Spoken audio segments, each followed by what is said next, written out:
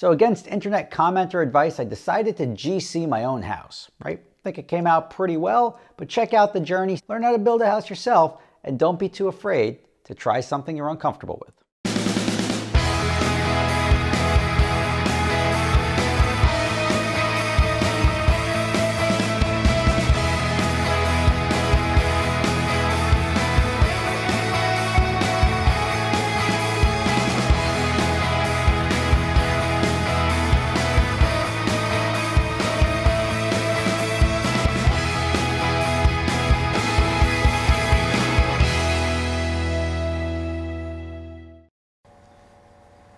Right, on site's almost nine o'clock and our trucks with the concrete are gonna be here at nine o'clock. This is the pump truck as we had when we did the footers, but we're waiting on the concrete trucks. They're spaced out every seven minutes, which means every, the whole purpose is to get everything to sort of dry uniformly and not harden before the other concrete gets here so it's all nice and even. Um, we've got You'll see right now they've got that air canister spraying over and we're using those green top buckets. Those green top buckets are like a, uh, like a lubricant. It's a releasing agent so that the concrete doesn't stick to the forms so it's easy to peel off. When we did these footers, you could see it was just wood and you can just whack those with a hammer, it comes right off. With these forms, they coat the inside so that the concrete doesn't dry to it as it hardens. So we should see the trucks pulling up any minute here. And this thing is just so fun. I love it. This could be the last time I need the concrete truck. The basement, obviously, as I've said before, gets done separately. Uh, but when the basement gets done, we could just shoot straight from the truck right down into the basement and it'll be backfilled by that point in time so you can get a lot closer to the house and pour the basement. And then we just rake it in. But let's uh, stand by for the trucks. They should be pulling up any minute and we'll get this thing going. I'm excited. We are in business. I got some concrete finally. Um, let's see what we got as far as weather goes.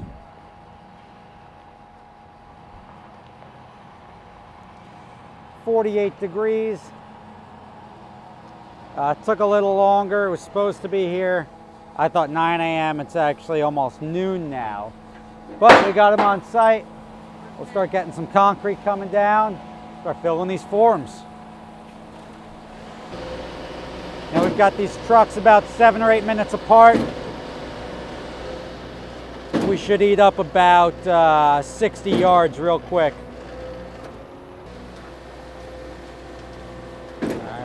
Make it rain.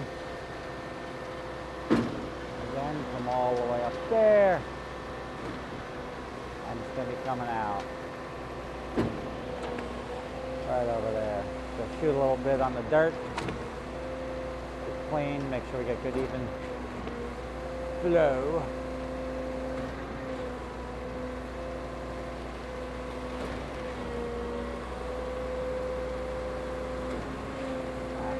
Concrete.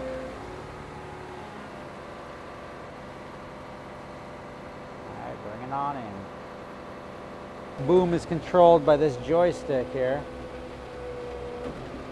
So we can control that, shuffle it around, and these guys will use hand signals to tell them where to move it, when to move it, but obviously going 12 inches thick and whatever 10 or 11 feet up, it's going to use a lot of concrete and it spray naturally disperses around underneath. Comes truck number two. As I said, they're gonna stack up. This truck will empty out, then it'll pull over there, start cleaning off to go back and load up again.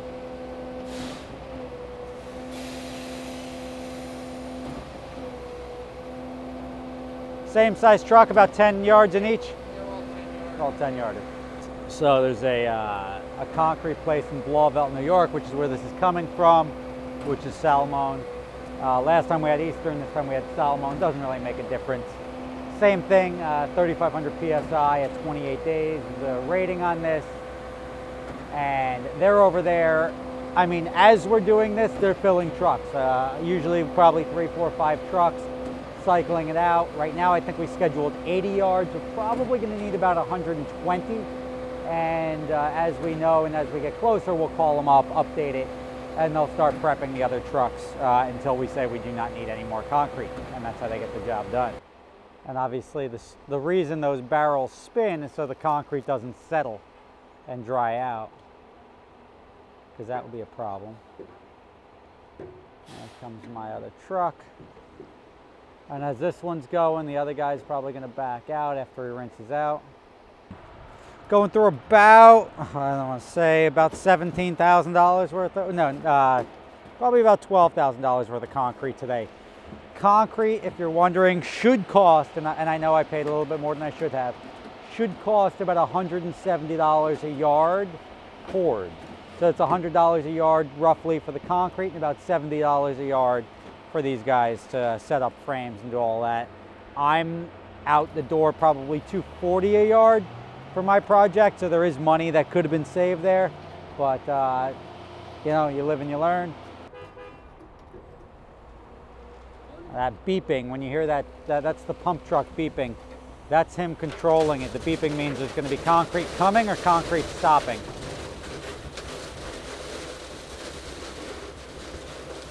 And we should have another truck, as I said, every 10 minutes or 8 minutes. There should be another truck uh, inbound very shortly. There we go. As I said, there's my third truck.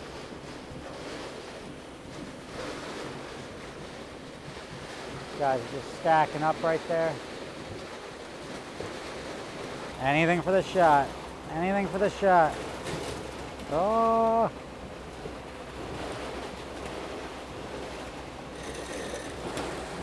Oh yeah, look at that. Coming all the way around. Shooting over there.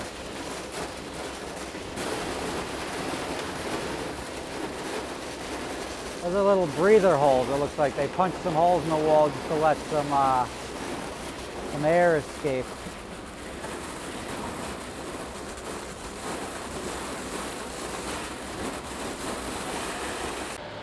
All right, here's truck number seven.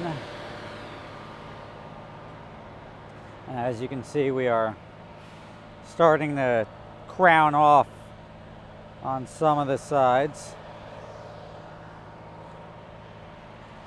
So we'll see.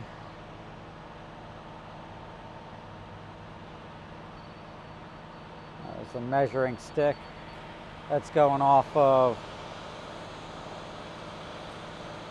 that box right there to make sure it's the right height straight across. Let's see if we can get a look straight down the top of the wall.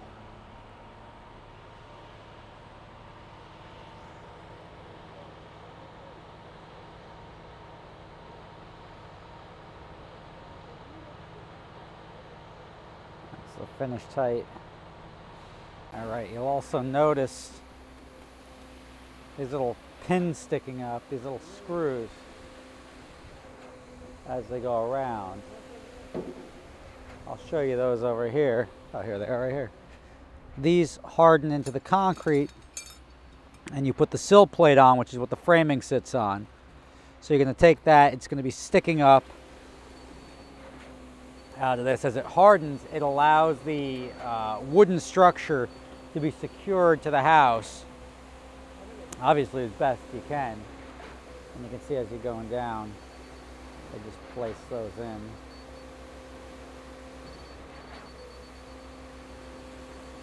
Use a T. The rough smooth, he uses that to smooth it, and then he just drops those pins um, right in. There's our truck number nine. This is the last truck we got. It's 90 yards. Um, I hope that is sufficient. I was thinking it's going to be like 110. And if I am wrong, nothing would make me happier. Not that it saves me any money, but it saves somebody money, and that's just as good. All right, now we clean up the pump truck. Start spraying down. This is what they do for all of them. So you got a little pile of concrete over here. They just spray down the chute so you don't build up a layer of concrete. And there's still some left in there. So our total concrete, I would say, was probably between 85 and 87 uh, cubic yards of concrete for this. As I said, I thought it was going to be about 110. I'm wrong. I was just going off of estimates people gave me when they were pricing it out. I didn't actually do the, the math. But uh, we also didn't know what the final height was. When we were doing the final height initially, the walls were going to be 10 foot 4 inches tall in the front. That would have put the back walls up to like uh, a little over 12 feet. So we obviously didn't go up that high. But now this is pretty cool. They're going to be, while they finish up over there, I was like, how do you clean that, right? Like, how do you clean it? Well, you suck a sponge through it because it is a pump. So uh, you're going to clog it up and suck it through and it'll clean the whole dang thing. Let's watch.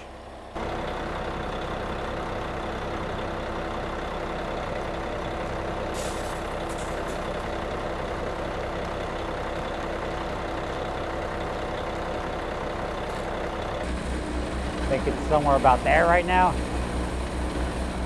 Getting sucked up to the top. Oh. All right, oh, there it is. These all look like very important warnings.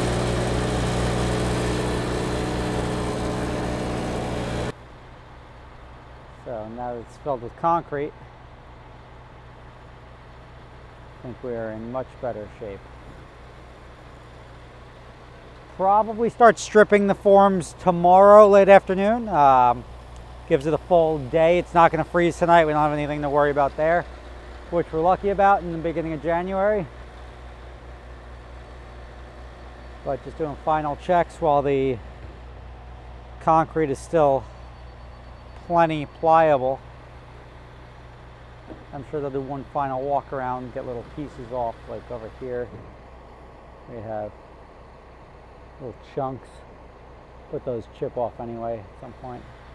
These guys are crazy.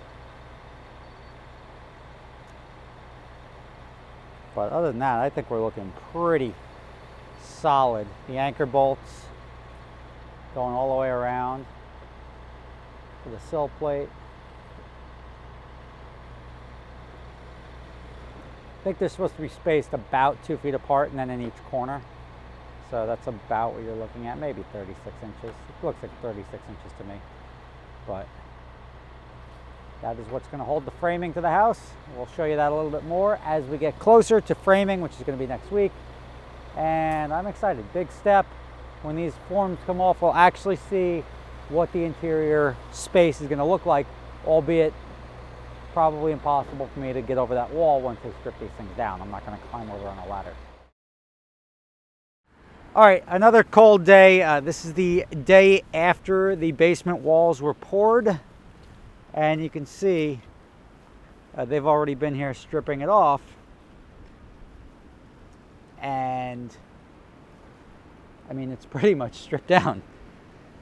So that didn't take very long. Obviously, this is not going to be an incredibly long video because there's not much to show. Uh, they pull off all these forms. Uh, it's going to be interesting. I guess they'll just have to climb in and pass all these through.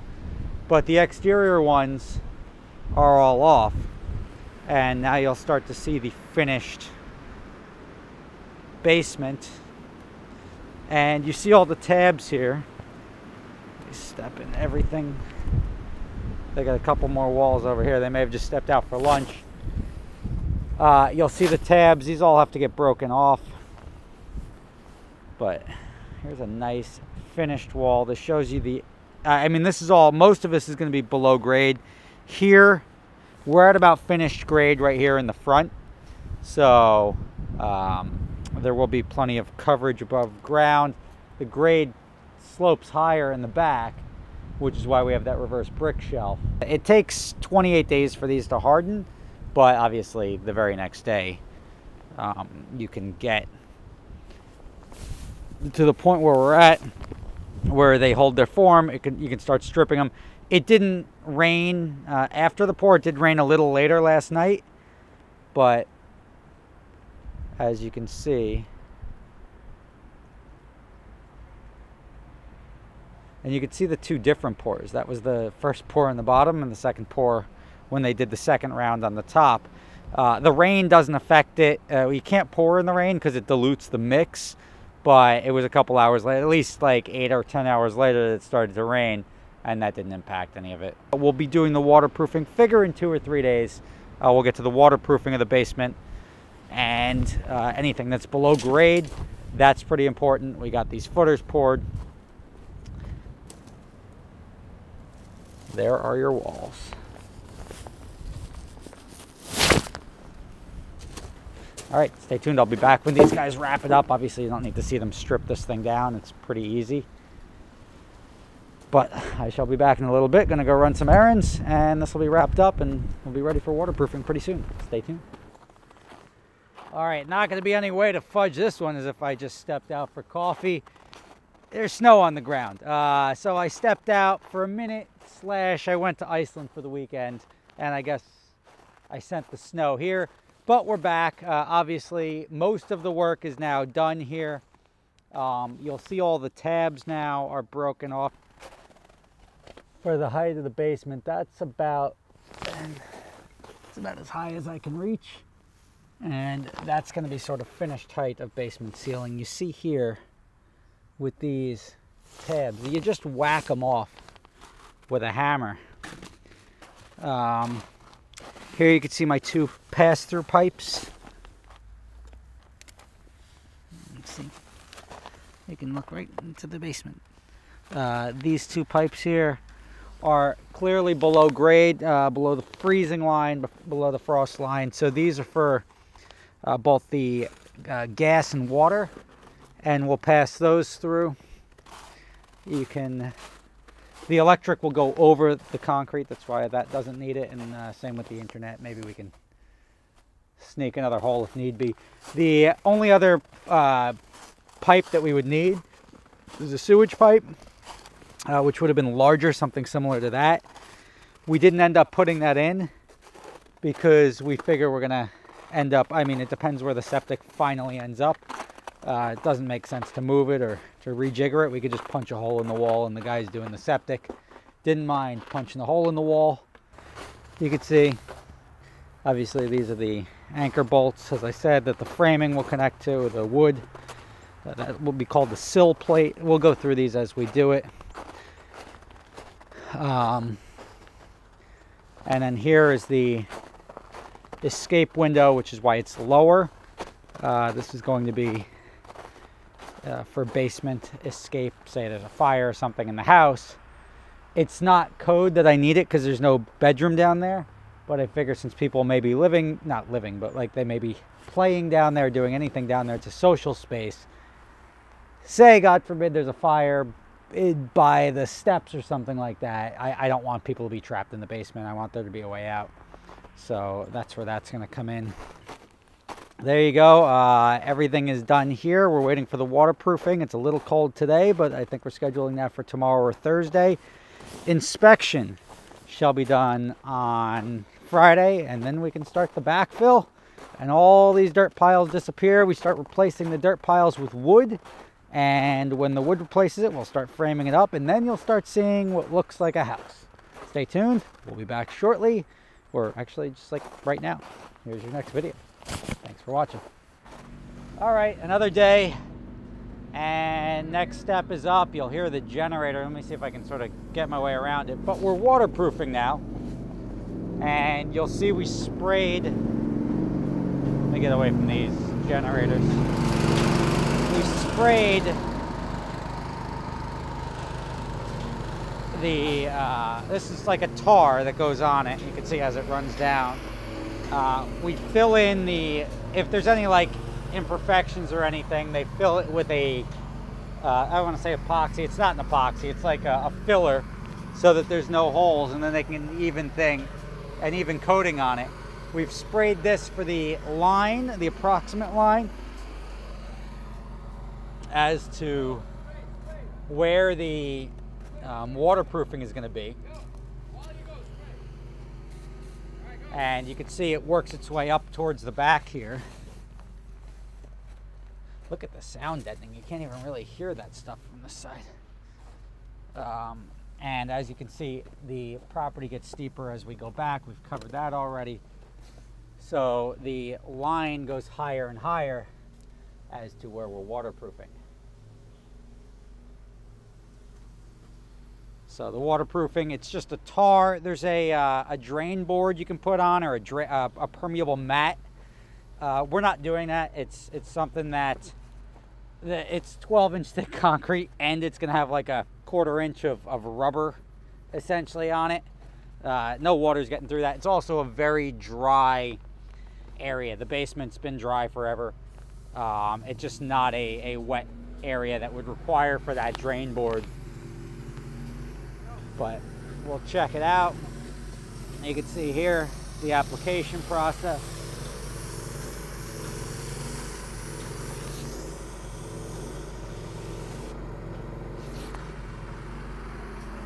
And you can see he's decked from head to toe and that's probably not very good to breathe in.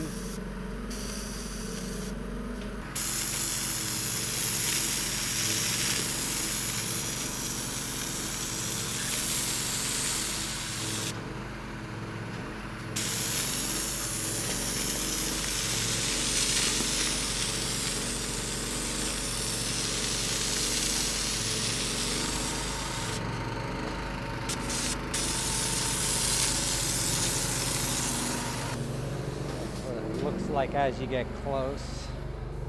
Straight down to the footer. Gross, right?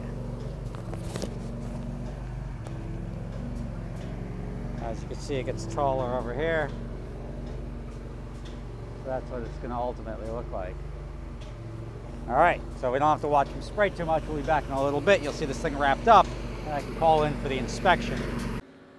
What's up, everybody? Welcome back. Uh, we are now doing some backfill. And as I said, we did the waterproofing. You saw that. These columns here, uh, the piers, they haven't been poured yet. So they're going to frame these out and pour them. So we're going to backfill the rest of the way because they need this big machine on a pretty big job. They've got two of these machines going to a big job coming up. So this was able to get the work done quicker and then they'll bring a smaller machine just to do the front. But you can see here, Obviously the pins, chalk lines, all marked off, so these are gonna be where they're supposed to be. Uh, since they didn't uh, put the rebar in it when we started, they just drilled holes, put the rebar down in there, and these piers are gonna go up about two inches, well, actually not about, two inches above finished grade up there. So we'll have these two inches above, not finished grade, uh, top of wall. Uh, and then we'll have a, the framing for the deck is gonna go right on top of it. So that'll be done by Friday, but I didn't want to hold up the process when we could start playing and moving some dirt. And here you can see the backfill scooping this dirt back in. And we'll see just how much extra dirt we have left. I mean, you look at some jobs and be like, that looks like a lot of fun. This is probably a lot of fun, but it is ultimately, after you do it long enough, becomes a job.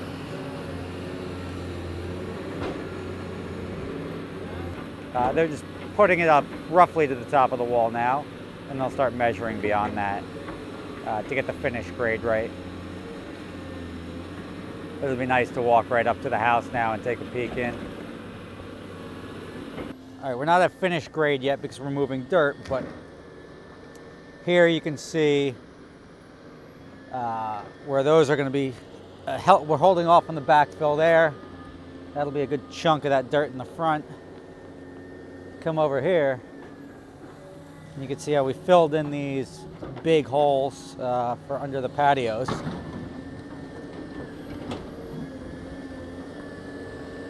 And you can see we're wrapping up back here.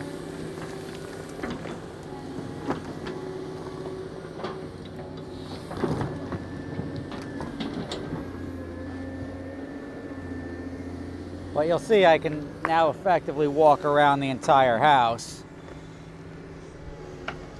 Walk right up to it. And again, we'll, we'll clean this up. But it gives you a much better visualization when you can actually stand over it as to what everything's going to look like. So that majestic machine up there sitting peacefully means we're done for the day. Uh, next step, as I said, is to get these frames, there's some of them over here, but get these framed up, get the concrete poured. Then once these piers are done, that just takes a day to dry, probably the following day or the next day. Uh, we'll be able to come in and finish that off by filling in the rest of the dirt so that the finished backfill will look like this. I mean, it's just going to be sort of loose dirt against the, the foundation going all the way around. And the only other thing we have to do is while we're pouring those, we'll pour the hunch slabs, which are going to be underneath there, underneath there, and one in the back here. That's just for structural support. Uh, that's something that I, I brought it up a couple of times during the initial uh, footer pour, but I think we had a slight language barrier and, and that didn't get across. They said they would do it later when they do the basement, but I can't start doing anything with the basement until after, or we can't do anything structurally framing wise until those are in. So uh, we'll finish this up tomorrow, hopefully get everything done, and we'll start framing next week. A little bit more of a delay than I was expecting, um, but you know what? That's that's to be expected. I, I like to be optimistic, and when challenges come up, I'll just describe them to you. Thanks for watching. See you tomorrow. Música